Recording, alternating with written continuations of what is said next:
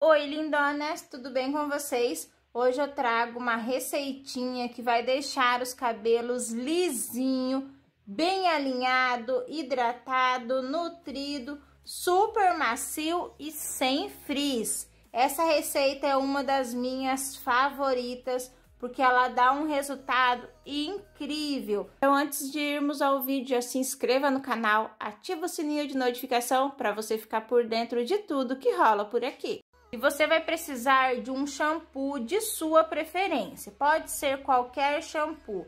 Eu estou usando da escala mais liso, porque eu gosto muito desse shampoo. Ele hidrata, deixa meu cabelo mais alinhado, ajuda a reduzir o frizz. Vamos adicionar uma colher de óleo de coco. Ele é rico em vitaminas, que hidrata, nutre. Se você não tiver o óleo de coco, você pode utilizar aí qualquer outro óleo. E vamos adicionar também uma colher de amido de milho puro.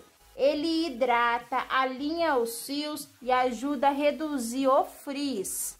E agora você vai misturar bem até que todo o amido de milho se dilua. Essa receita não pode ser guardada, então eu recomendo que você faça a quantidade que você for usar no dia. E com os cabelos molhados, você vai aplicar na raiz dos fios vai fazer aí uma boa massagem e você pode levar a escuma para o comprimento para tratar os fios. Se você estiver com os cabelos muito ressecado, danificado, você pode fazer essa receitinha em todas as lavagens. Depois que você lavar os cabelos, eu recomendo que você faça uma hidratação para manter aí os seus fios sempre hidratados. E o resultado, lindonas, é um cabelo maravilhoso, muito alinhado, sem frizz, com brilho, maciez, um cabelo super sedoso. Eu espero que vocês tenham gostado do vídeo de hoje, então se você gostou, ó,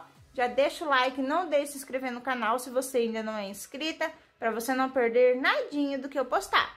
Um mega beijo e até o próximo vídeo. Tchau!